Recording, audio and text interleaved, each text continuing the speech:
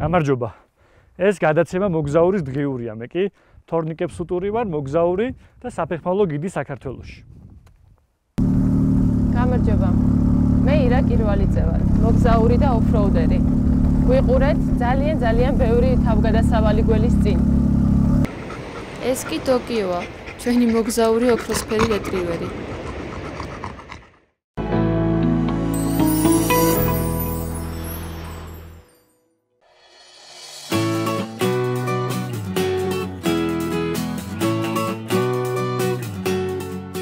მოგესალმებით მეგობრებო. ვიწყებთ ჩვენი გადაცემის მეოთხე ეპიზოდს და ეს არის მაღალმთიანი აჭარა. მოგზაურობას ვიწყებთ ბათუმიდან და პირველი გაჩერება იქნება მირვეთის ჩანჩქერი. მირვეთის ჩანჩქერი ბათუმიდან 27 კილომეტრში, სოფელ მირვეთში, ჭოროხის მარცხენა სანაპიროზე მდებარეობს. მისასვლელი გზა საკმაოდ კარგია. ნებისმიერი სახის ტრანსპორტით შეგიძლიათ მიხვიდეთ.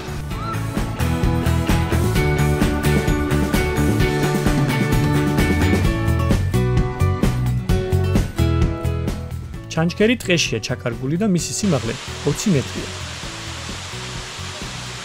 მოგეთ აი ესეთ საოცარ გრილ ადგილას ვართ, ბათუმთან ძალიან ახლოს არის. თუ მოგინდებათ ბათუმის სიცხეს ცოტა ხანი თავი დააღწიოთ, შესანიშნავი ადგილია. მანქანა გავაჩერეთ სანამდინარეზე გადმოვიდოდეთ და ფეხით გამოვიარეთ დაახლოებით 700 მეტრი. თუ მსუბუქი მანქანა ყავთ, მანქანითაც შეიძლება გადავხოთ, უბრალოდ იმდენი მანქანა მოძრაობს და ესეთ ქაოსია მანქანის სიარულისთვის, ამჯობინეთ რომ ფეხით გამოგვიარა და ისე დავგვარი ყავით ამ ულამაზესი ხედებით.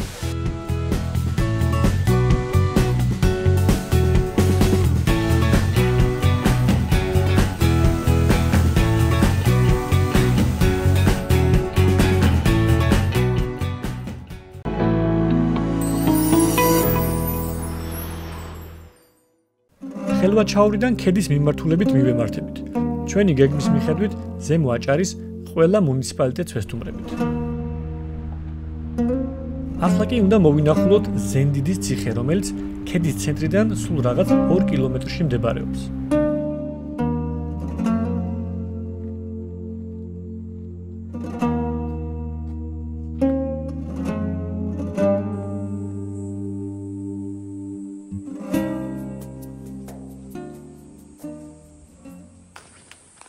ვიპოვეთ. ცოტა უცნაურად გილას ვართ. ამოვედით ზენდიდის ციხის ტერიტორიაზე.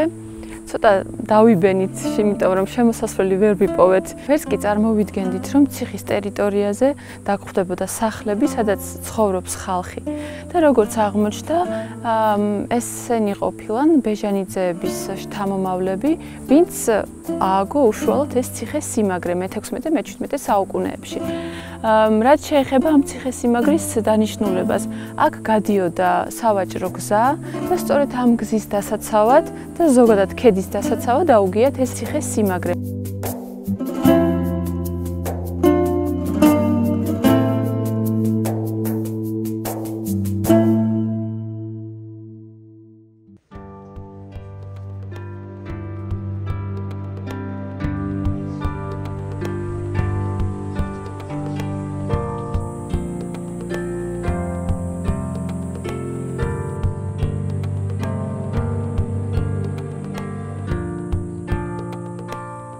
განცვიფრებული და გაუგნებელი ვარ ისეთი ძველი რაღაცებია შიდა ტერიტორიაზე.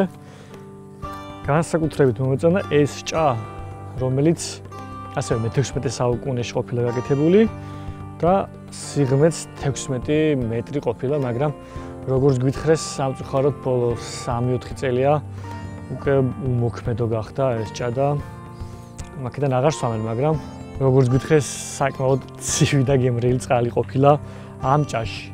როგორც კი აღნიშნეთ, თლიან ტერიტორიაზე შეხვდებით სხვადასხვა ნაგებობების ნაშთებს, სპეციალურ გამოყენების ნივთებს.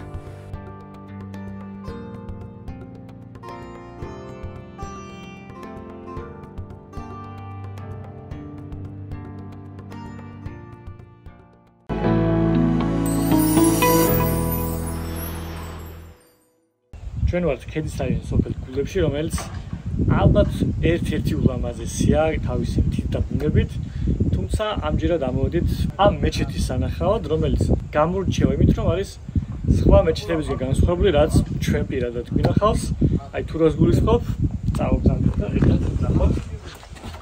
ესეთი აგარი საკეტული აქვს, მაგრამ სანამ გადავალთ, აი აქვე ჩუქურთმებია ჯვრის გამოსახულებით და მაგეთ ყურძნის ტემნები და ვაზი აი ეს არის, მაგრამ ყველაზე მნიშვნელოვანი გველოდება შიგნით.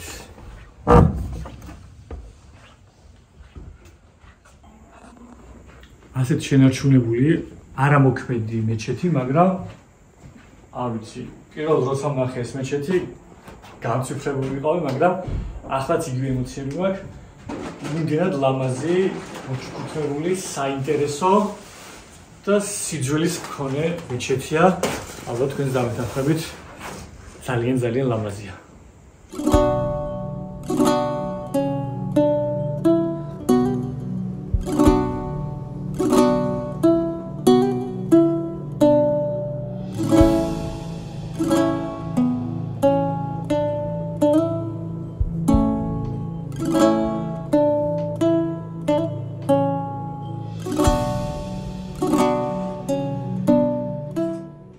აჭარაში მეჩეთები იმით გამოირჩევა, რომ აქ უხვად გვხვდება ქართული ორნამენტები, ვაზი და ბორჭყალო, რაც ისლამური სამყაროსთვის უცხოა, სადაც კაცრადაა განსაზღვრული მეჩეთების აგებულება და მოპირკეთება.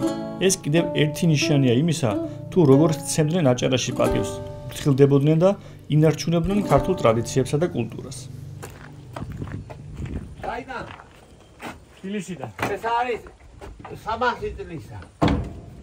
მა ქართული ორნამენტები აქვს. ქრისტიანული, ე, ყურძნის ტევნები.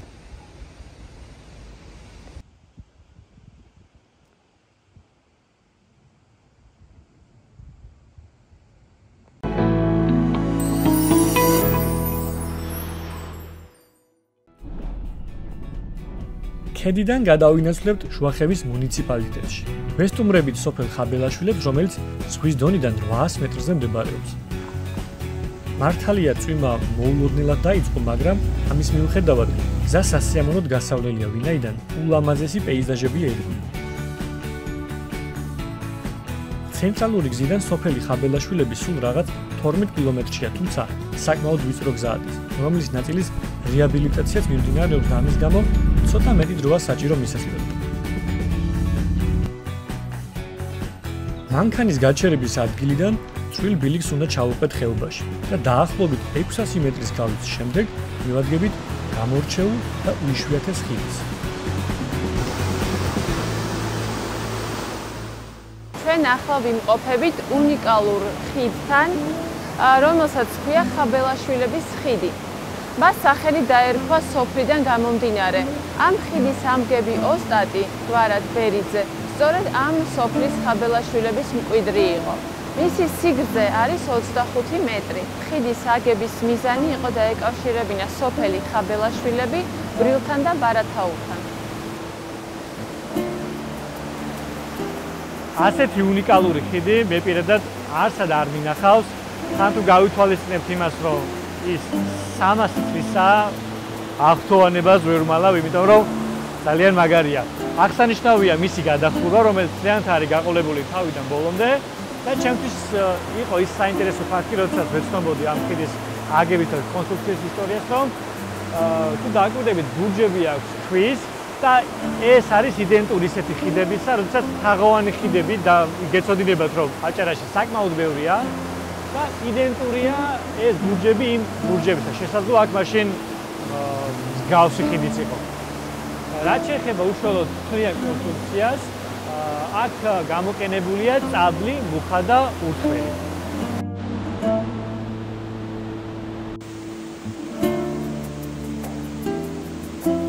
აქტუანებულები ვტოვებთ ხაბელაშვილებს და მიმართებით არა მხოლოდ აჭარის, არამედ საქართველოს გამორჩეულეს ხიხანის ციხის სანახავად.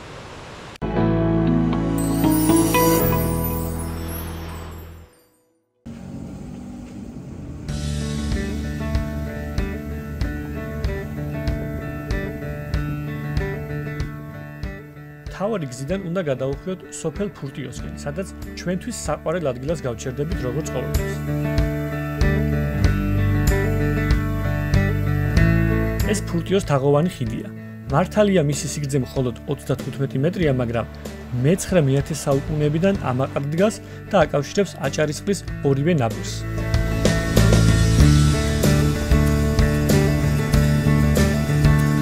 აქედან ხიხანამდე მანძილი მხოლოდ 33 კილომეტრია, თუმცა გზის ძირითადი ნაწილი გრუნტიანია, რის გამოც ამ მანძილის გავლას დაახლოებით 1 საათი სჭირდება.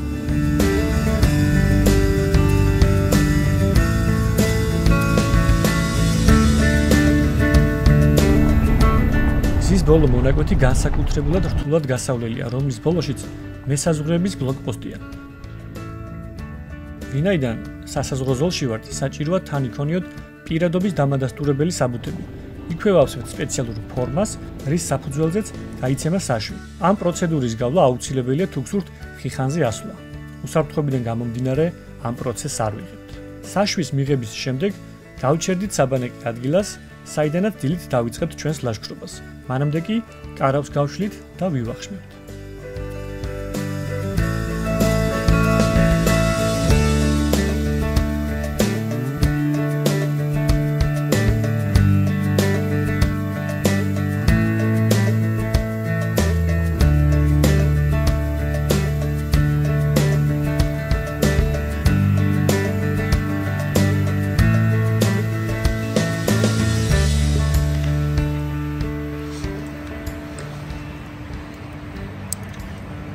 აი აცხელი კერძი საღამოს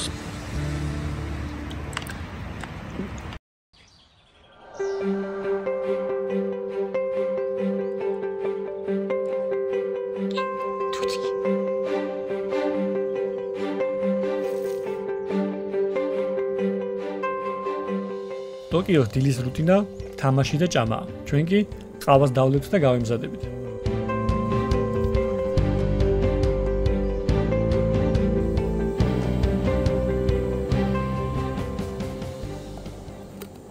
გათენდა არაჩვეულებრივი ამინდი დაგხვდა მიუხედავად იმისა რომ გუშინ ისეთი პირი უჩანდა რომ ჭექა ხუხილი და მეორედ მოსვლა უნდა ყოფილიყო მაგრამ მთაში როგორც ყოველთვის როგორც წესია ამინდი სრულად მოულოდნელობით არის სავსე. ტოკიო სადღაც დარბის ჯერ არის ისრაელის წინ. ჩვენ ვიცით რომ ეს იქნება 2 კილომეტრი ნახევრიანი საკმაოდ ციცაბო აღმართი აი იმ მთაზე უნდა ავიდეთ, სადაც ხიხანის ციხე არის განლაგებული.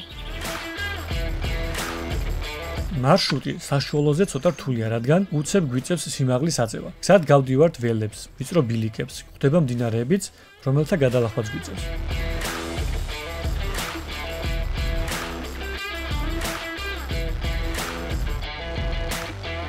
უკვე როცა მთაზე ვიწყებთ ასვლას, გზადაგზა შესაძლებელია ჩამოჯდეს კამზე და დატყვე ულამაზესი ხედები.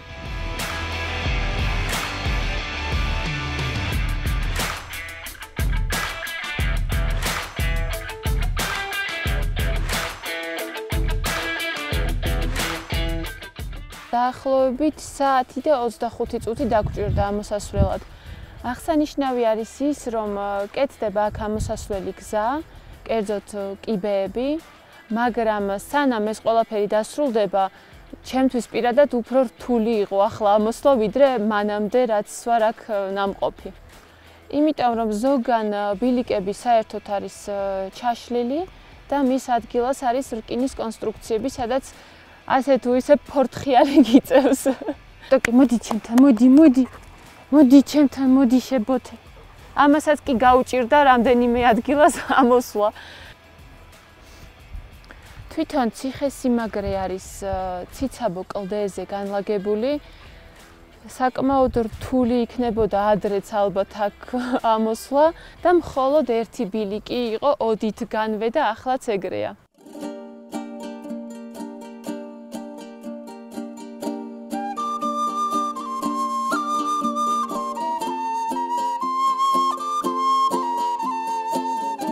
ჩემი აზრით საქართველოში ერთ-ერთი საუკეთესო, იმიტომ რომ გარდა არსებული ციხისა, გარშემო ისეთი ბუნებაა მრავალფეროვანი პირველ რიგში. ნუ არ ვიცი, ძალიან გასაოცარია. მესამე თუ მეოთხე თვარ ამოსული, მაგრამ აი ისეთივე შტაბეჭდილება და ისეთივე ემოცია მაქვს, როგორც პირველი ამოსვლისთანავე გაუწდი.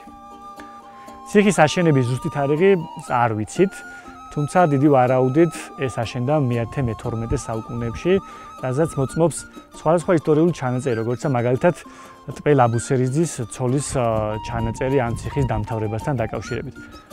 შეიძლება ითქვას, რომ ციხე ასე თუ ისე ნორმალურად არის ჩვენამდე მოღწეული.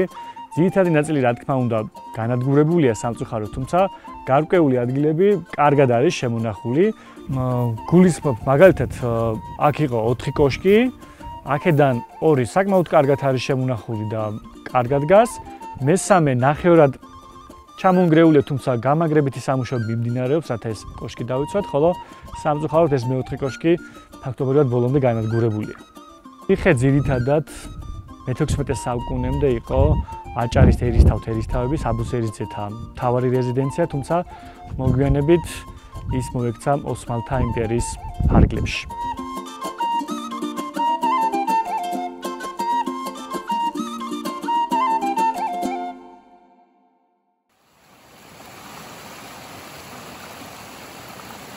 ამ გძლივი და რთული ლაშქრობის შემდეგ სურველებს შეგიძლიათ ცივ წყალში გაიაროთ და გაგრილდეთ. დაღლილი ფეხებისთვის ეს მისწრება.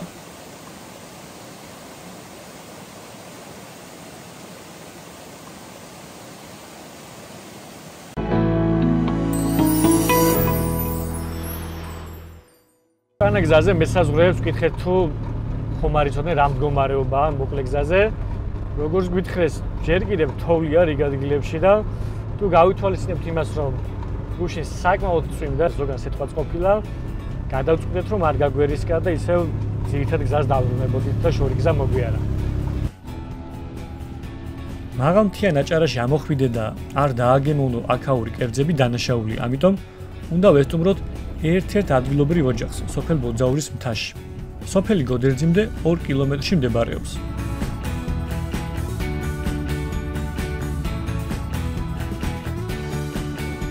რადგან ზის ამ უნაკვეთზე სამუშაოები მიმდინარეობს, ფეხით ვაგზელებთ გზას.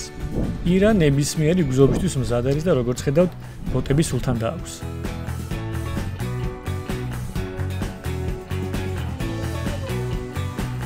ჩვენი დღევანდელი მასპინძელი თემურ ხოზრევანიძის ოჯახია.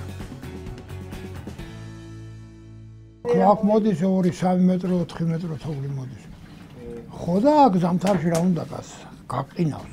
ივნისის თვეში ამოვანთ. ივნისის ასე 5-დან სექტემბრის 10 რიცხვიდან აკარავინ აღარ იქნება. ის ოჯახების ძირითადი შემოსავალი ამ ეტაპზე ტურიზმია. ბოლო წლებში გოდერძის კურორტის განვითარებამ საგზნობლად შეუწყო ხელი ამ ოჯახებს. ზაფხულობით ვიქნებით აქანე. ვამზადებთ ყველს, კარაქს, ნადუღს, ყველაფერს ამას ყველას თავისი ადგილი აქვს. რვა ძროხას ვინახავ მე, რვა ძროხას. მე და ჩემ მეუღლეს გადაწყვეტილი გვაქვს. თუ კი რასაც ვაწარმოებ ნატურალურს და ისე მივართმევთ ხალხს, ტურისტს. მე შუბცის დავდივარ. კვერს ვატარებ, ქათმები მყავ. კაიმავს ვატარებ. მე შენი ძირი მე ყველს ვატარებ. გავდივარ, გასამხნელებლები არიან. ეს კურორტი ახლა გაიცნოთ, რომ ძირითადი ძირითადი ადგილი იყო ბეშუმი ჩვენ. დღეს რამდენიმე აჭარულ კერძს დავაგებინე.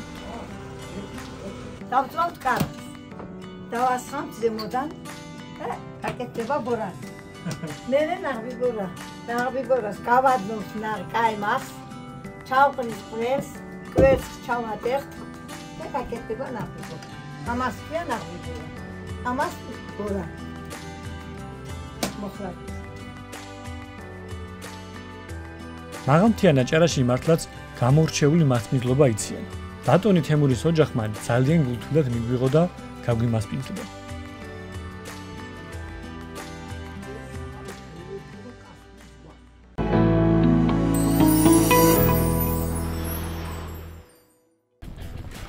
აქედან შუამთის დიდი ტბებისკენ გავეშურებით.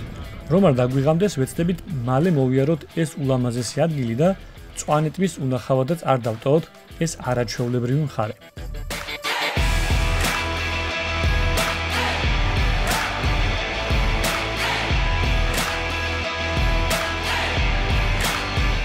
ჯამში შუამთის მთებში ხუთი ტბა, მათგან ყველაზე დიდი ეს არის, რომელიც ზღვის დონიდან 2150 მეტრზე მდებარეობს.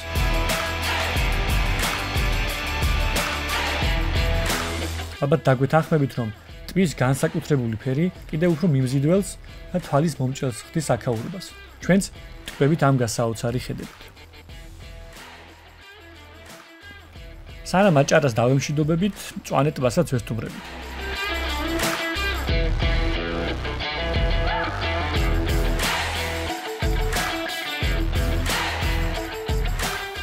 ტბა გოდერძის უღელტეხილიდან 6 კილომეტრში, ზღვის დონიდან 2058 მეტრზე მდებარეობს. მისი მაქსიმალური სიღრმე კი 20 მეტრს აღწევს. ის ძალიან პოპულარულია მოლაშქრეთა და ბუნების მოყვარულთა შორის. აი ტოკიო, აქაც მოსინჯა წყლის ტემპერატურა და ჩადგაფუნდა. ჩვენი აჭარული მოგზაურობა აქ სრულდება, მაგრამ დაელოდეთ შემდეგ გადაცემას, რომელშიც ლეჩხუმში ვიმოგზაურობთ.